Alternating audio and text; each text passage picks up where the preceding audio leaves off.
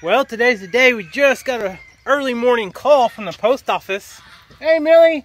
And uh, the Cayuga duck females are in, so we are going to head down. We're going to pick them up. We're also going to mail in our Redmond soil test kit to get the results back on that, hopefully quick, so we can get our garden, our raised garden beds amended and uh, figure out what we need to add to make them uh, grow the biggest yield of vegetables we can grow. But I'm excited to uh, get these um, ducks and uh, see what the Quack Pack thinks once they're big enough to go in with them. So stay tuned. There they are. I don't know if you guys can hear them or not. We're not going to open them until we get home because they got to stay warm, of course. So let's head home. All right, we made it home with the baby Cayuga ducklings. It's a rainy day. But we're heading out to the shop. That's where we keep our brooder for our chicks and our geese that we currently have, little goslings. But we got to make some room because here recently the little geese have started pecking the feathers on the uh, little Polish chickens we got in there. But the geese should be able to uh, be big enough to go to the little goose daycare setup that we got, and I'll show you guys. You guys remember when we brought those other four geese home, we had a little setup here in the shop right here. And that's where they went. Oh yeah. So you can see those little geese are growing so fast. All right, let's see what we got here. So these came from Meyer Hatchery. I'm not sure if they were overnighted. It says two day right there. Them up. Oh my gosh. Look at those. Little baby cayugas. Are they not the cutest? Got a little heat pack in there. Looks like they all made it just fine. So now, I'm gonna go uh, get some fresh water and everything for these little goslings. And then we'll transport them over to the uh, goose daycare thing. And then get these guys underneath the heat lamp. I don't wanna put them in there just yet because they are probably about a quarter of the size of those geese. Oh, they're nice and warm. Look at that. Little cute little female cayugas. Alright, be right back, guys. You guys ready to go to your new house? Alright, here it is. Little geese. Here you go. All that water, get you some food.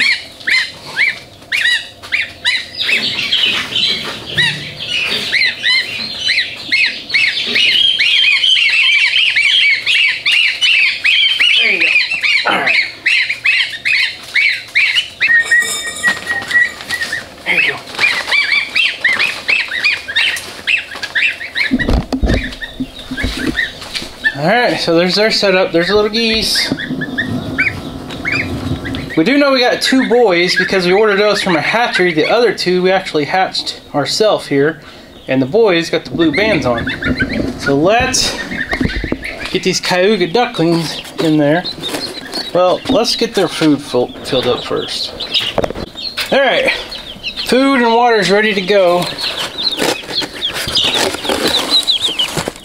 Y'all ready to get underneath that heat lamp? Wow, these are some small little ducks. But we'll leave these chickens in here for a few more days, and uh, that way they can kind of teach the little ducks how to eat and drink. Because they're already like three, three weeks old or so. And as warm as it is outside now, they should be able to go outside in the uh, quail hutch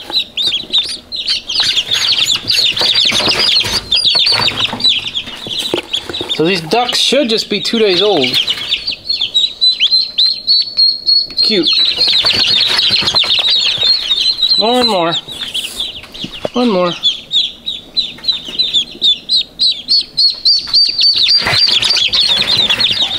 So this heating pad is still warm. So that's good for transportation purposes. So we got them moved over. Kind of watch to make sure they they see their water. If they don't, I'll dip their uh, beaks in there one at a time. But you can see some of those Polish are missing some feathers. That's from the geese kind of being mean to them and picking their feathers. So it's time to get them separated for sure. But these ducks will probably watch the chickens come over and drink and then that we'll teach them. A lot of times what we'll do is we'll just take the ducks or the chicks when we put them in the brooder and dip their little beaks in the water. And that'll just teach them, hey, that's where my water is. Let's just do it real quick. There you go. Got a little drink. All right, let's let them be for a little bit. Let them get settled in. We'll check back in a little bit.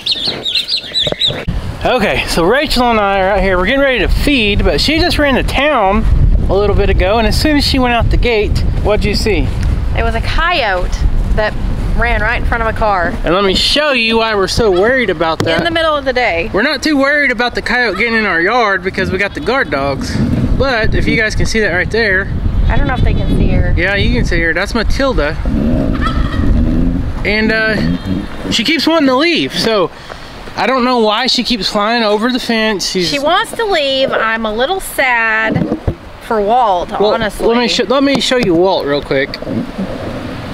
So Walt is super upset because his wife keeps wanting to leave and uh, flying over the fence every morning. She's done this for a couple days now, and uh, I wasn't too worried about it. If you guys remember last year, Matilda actually did the same thing, but she went the other direction and flew a long ways away from our house, and she was gone for weeks. She came back and she had the leg injury we thought she was gone for good. and her leg has not ever been right since. So, since she just seen that coyote just a little bit ago, in the middle of the day. And that's not the first time I've seen one, but I thought, ooh, he was really close that's really to our close to driveway. And I'm like, oh no, we better, we've got to um, Well, we know, resolve this issue. and we knew that she had been coming out here, and she don't go anywhere. She just jumps over the fence and comes out here and eats. So we're gonna try to catch her, and what we're gonna do is trim her wings, clip her wings, whatever you want to We're call it. catch her, put her back in the fence, and then clip her wings. Well, we're gonna try to catch her. or so whatever. stay tuned for this. I should have worn my boots. We should have. Copperheads are out. Good thing we let that black snake live the other day. Well, hopefully. All right. No, this is bad. Yeah. So th- this stuff is like camo for the copperheads. Today is hot. We're gonna be out. Yep. Just follow me. I'll make a. I'll blaze a trail for you. I got my boots on, so if anyone tries to bite, they'll try to bite me first. All right. So there's Matilda. Walt. Walt is just. He can't stand it. Hey, What? sitting over here. You don't see any eggs or anything. No. She was sitting like in this general area when I seen her. Here, I'll give you this, and I'll try to catch her since I got the Boots. on. Well, I don't know what I was thinking. wild blackberries. Ooh. A.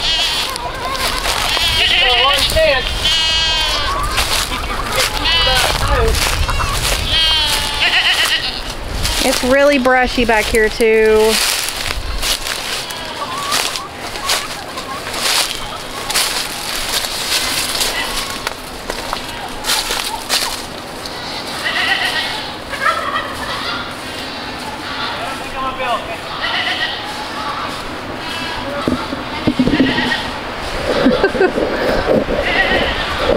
Aww. I should, well, if it wasn't so brushy and snaky over here, I would have had the kids come help. But I don't want nobody to get copperhead bit.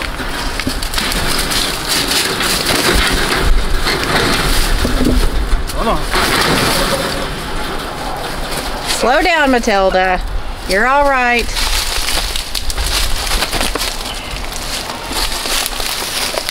Was gonna try to do this, but I don't think I can. Here. I think if you, can you hold her wing? Yeah. Well, she's got this one. She's, Watch her tip. okay, don't move. We're gonna do both of them because we do not want her getting out again and get eaten by a coyote. Because with her leg hurt like it is, I don't think she'd be able to get away. Sorry, Matilda. We, you, we love you and we don't want to risk it. Well, I got her, bud. And Walt loves you. Quit trying to. Walt, Walt Leave. is, uh, he won't stop telling her. Is that enough? You think? Yeah, that's enough on that one. Yeah, do this one good though. Just and don't go- typically, you don't have to do both. just don't go past, you know where to go. Yeah, Don't go past I know. No, more than that. Go closer. Okay. Well, Okay, let me show you something real quick. I did the You want to you want to kind of follow this. See these feathers, how they change? You kind of Yes. want to follow that. Okay, But right well, up here, you gotta be careful. yeah. Okay. I know that. Here, go down. It's easier. I'm fine. This, it works. I'm doing it. Cause these scissors. I don't, I'm not very good at doing things one-handed like you are. Okay. Well, you get used to when you have a YouTube channel and trying to carry that camera around. Okay, Walt. Let's reunite Matilda with Walt. Here, Walt. Where is he? I hear him. I'm just gonna throw over because I can't let go of her. There he is.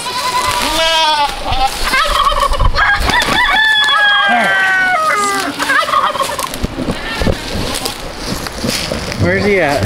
He said, I see you, babe, I see you. He says, you leave me again, that's the last time. You don't have any other options though. She is the only turkey hen we got left. I'm kind of like feeling bad for Walt. Well, we might have to get him a girlfriend. Well, cause she's not real interested. No. But he's a beautiful, Sad. he's a beautiful Tom Turkey. Look at him. That's for her. Yep. And she just keeps wanting to leave. Well, let's go feed them. Everybody's starving to death. They're not really starving. They just like the grain. No, they're not starving at all. We shouldn't even be feeding them grain anymore.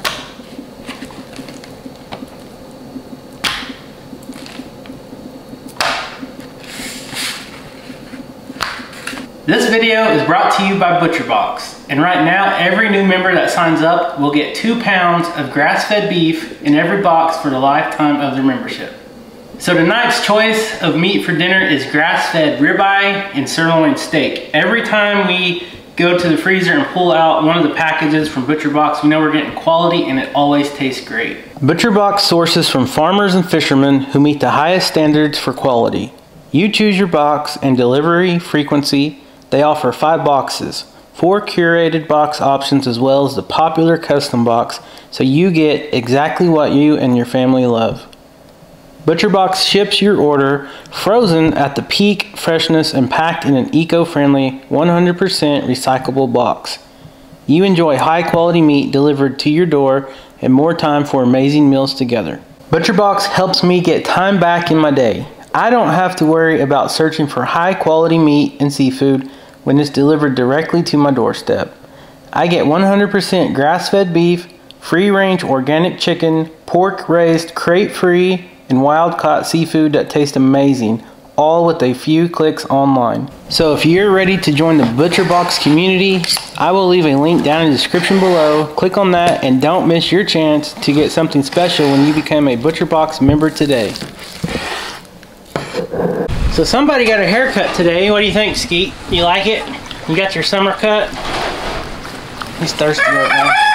Yeah, he's got a little schnauzer cut.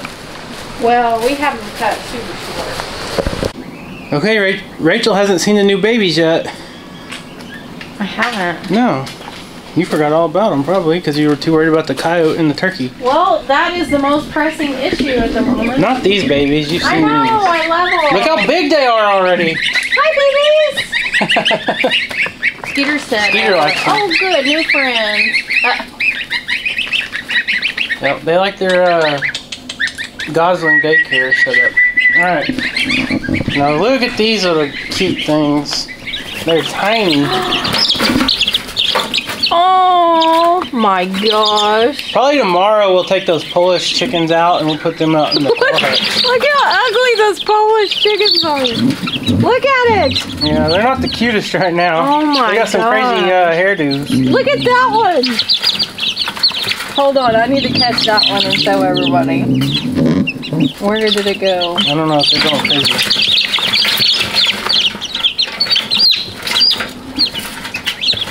Just grab one. They all look the same to No, me. they don't.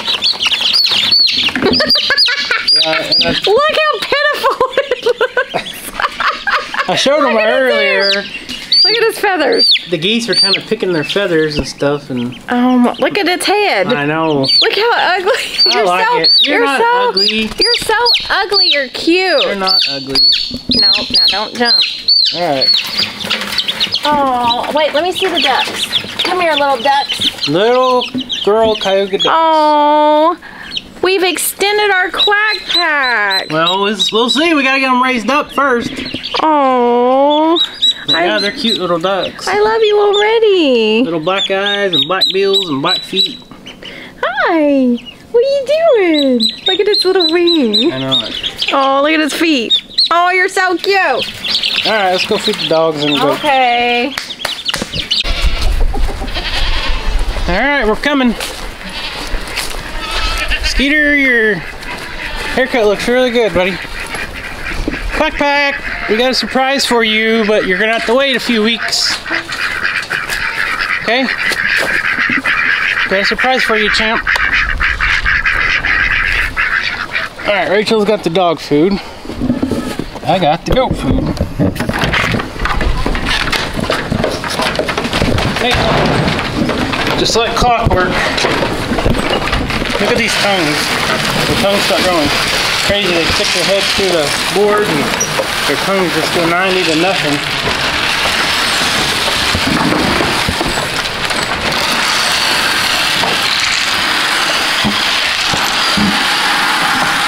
Hell, it's all the same, brother. Can't believe you guys can still fit back here. Alright, let's go get dogs their food.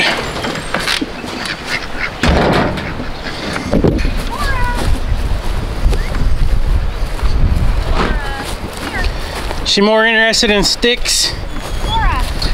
What are you doing, Cora? What are you doing, Cora? Well, she's got access 24-7 now, so she might not be hungry. And plus, it's finally 80 degrees today. Finally got a really warm day. And a lot of times when it gets warmer, dogs do not eat as much. Our dogs don't anyways. Right, Cora girl? Oh, you know, baby. Come here. Oh, you know, baby girl. She said, oh yeah, that feels good. You sure are growing good. You know that? Come on. Look, she's gonna go Here, I got her a can of food in my pocket. Okay. Here, wait. There you go. She said, oh yeah. She likes the eggs. She loves eggs just like all the other dogs we got. Look at here, girl. This is just a little supplement, a little treat every once in a while.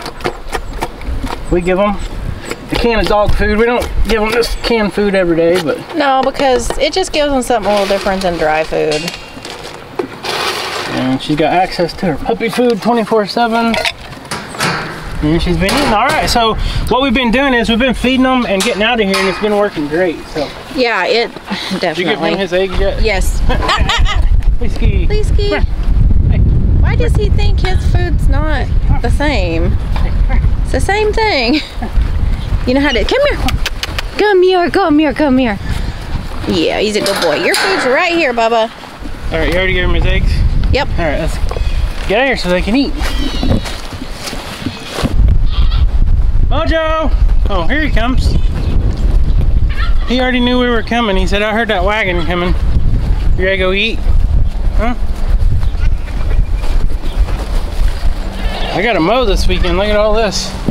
I hate to mow, but I've been letting this go as long as possible because all these flowers, the bees absolutely have been busy with them all. Our whole front yard is just flowers and dogs and dog hair.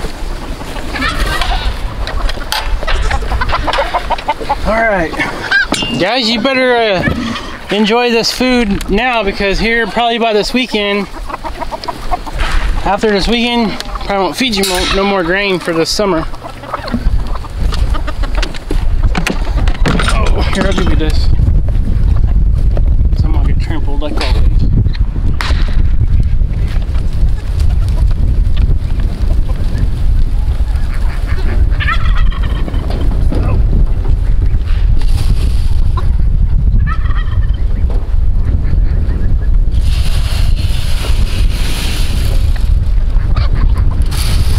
Look at that little baby.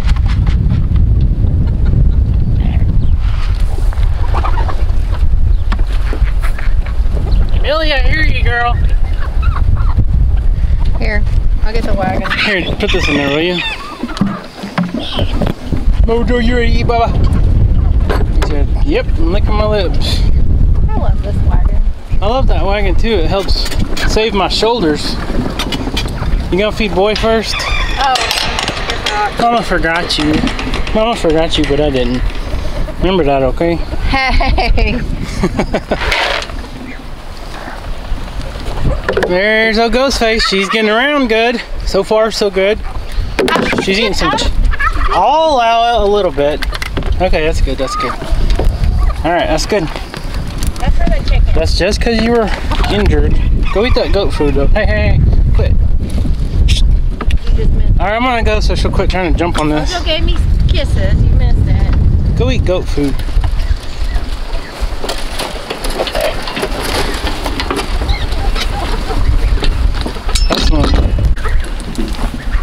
These two are sunning on the playground. Well, are you happy now? You got your girl back? Walt's happy. I don't know about Matilda. Matilda says, dang it.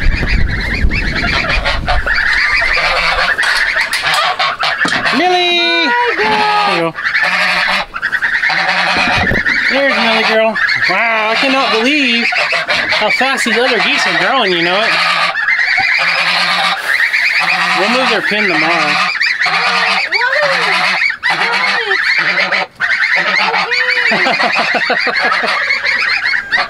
I'll get them some fresh water too.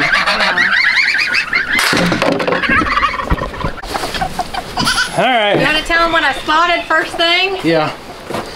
Let me, uh, here. I'll give you this. I'm gonna go fill this up real quick. Okay. Look who's back. I don't know if you can see in there, but it's a huge. I don't know if that's the same one or not. But he's looking right at me. Where want to go? Well, he's looking this way. Ain't none in here, are there? No, but gotta take care of this one. All right, camera off. How many chances did we give? Uh, he's had plenty. Okay, yeah. The chickens are enjoying their scratch. And they're grub terra worms, I throw them.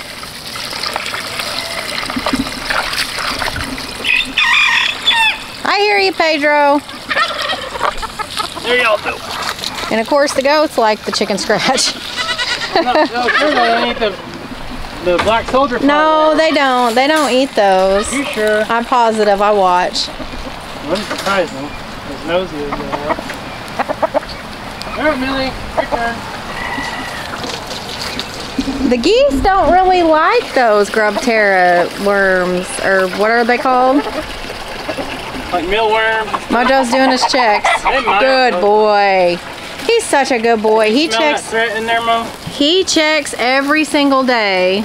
After he eats, he does his rounds, but he does that often throughout Yeah. the day. He don't just do it when he eats. He does it all the time. Yeah. Here, Alright. I'll get the wagon. You go rinse out Millie's. And the girls is We went ahead and moved Millie's pins. Uh, now that they're getting bigger and there's more of them in there, they're kind of making it a mess a little bit quicker.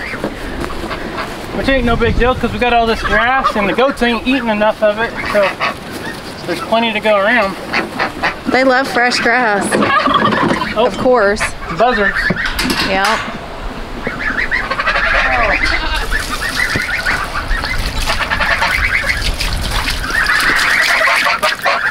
They get things dirty quick. Yep. I think that's for most waterfowl. Waterfowl are not the cleanest. No. But And- they're in a confined pen right now. And that don't help stuff, so. yeah. Millie, Millie, what you know, girl? Got you some fresh water. They're not going to be staying in here forever either. Nope, just as soon as they're her size, we're gonna try to let them out, and then we'll have some other ones to bring in here. Yeah. So rinsed her bowls out. Now we're just getting her some fresh water. And did you know that snake was over there? She said she would have she would have took care of it. She might have. I don't know. It was pretty big. Look how big those other ones are. They're almost just as big as she is. I think they, I'm not gonna say they doubled in size, but they have grown a lot since we've got them. Yes. They're getting their little feathers. Yep. They have to stay in here until they get all their feathers in. They gotta stay in here until they're about her size or they will be like hawk bait or owl bait. Yeah. They'll swoop down and pick them up and eat them up. be in white. In our experience, that's the first things that are picked off. Yeah, because they're not camouflaged at all around here anyways. Oh, and, you know, I, I told Hey, let me out of here. No, I want you in the cage. No, I feel like I'm trapped. You are. No, you're not. 'cause I put the string on, remember? Oh yeah. No, the I'm um that's not the first time I've seen the coyote run in front of the car. I think a couple weeks ago I was on the phone to Mrs. Dutch and I said, "Oh my gosh, an owl!" A, a coyote had just went in front of the An car. owl or a coyote? Get your story straight. No, listen. Uh, a coyote ran in front of the car, Okay. and then a few minutes later, an owl swooped down. It was the weirdest thing. I thought that's kind of creepy. Yeah. But then today, the coyote. But I seen Which- the owl just a few days ago. To clarify on that. The coyotes are always on the outside of our property, and we see them often, and we take care of them when we can. Um, our dogs don't leave our property, so coyotes are out there on the outside of our property, not with the livestock. But why we were so worried today about Matilda, the turkey hen, is She was on the outside. she was on the outside. And we don't want that, so that's why we went ahead and clipped her wings. And I hope you got those scissors. You don't have them? I handed them to you. You did? Uh-oh, they're not in my pocket anymore. I don't know if I set them in the shop or what I did. I don't know. But anyways, guys, that is today's video. Stay tuned. If you're not subscribed, subscribe, and you can watch the new baby Cayuga ducks grow up. And then uh, when we introduce them to the quack pack, which is our males, Will it be a love match? we'll, we'll separate half those males and we'll bring some of them over here. And then we'll put some of the Cayuga females with them. And then hopefully we'll put maybe one or two over here with these. I don't know. We'll just have to see. We got, how many did we get? Six? Six females we got four males. I'd like everything to be on the pond eventually. Yeah, That's eventually. my goal. We got we got to train our livestock guarding dogs over there to not um, chase poultry and all that. And so I don't know, it'll be a test. But anyways, thank you guys so much. We love you guys. Thank you guys. Um, put that water down. yeah, stay tuned for the next video. Like this video, leave us a comment, and uh, we'll see you next time. See you guys. Thank you.